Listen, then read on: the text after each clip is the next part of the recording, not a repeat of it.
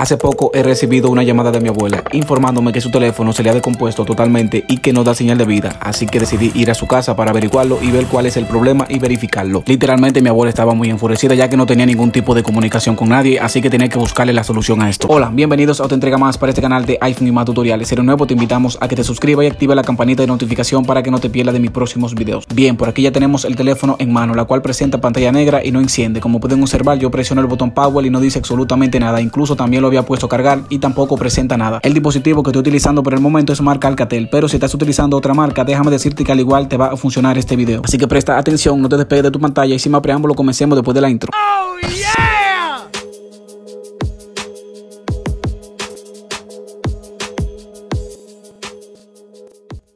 Chócame contra la pared, tú tócame. No quiero nada de delicadez.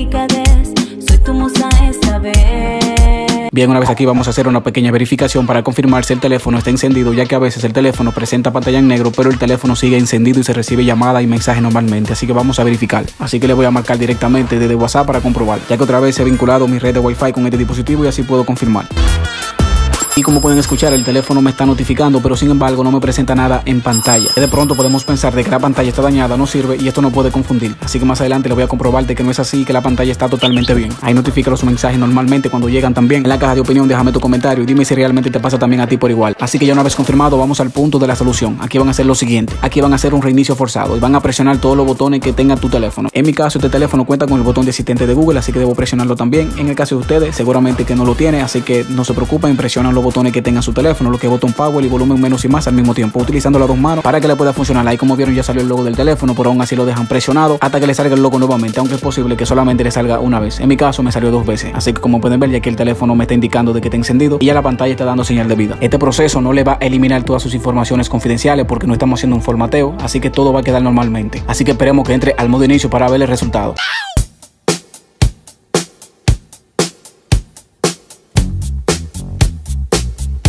Y como pudieron observar simplemente requería un reinicio forzado para que el teléfono pueda encender. Ya el teléfono está totalmente listo y no se perdió ninguna información como lo he dicho anteriormente. Así que la emergencia ha sido un éxito y el paciente sobrevivió. Si este video te ha sido de gran ayuda, considera dejarme tu like, suscríbete y activa la campanita de notificación para que lleguemos a más personas y podamos crecer juntos. Así que una vez dicho esto, nos vemos hasta otra próxima entrega para este canal. Chao, chao.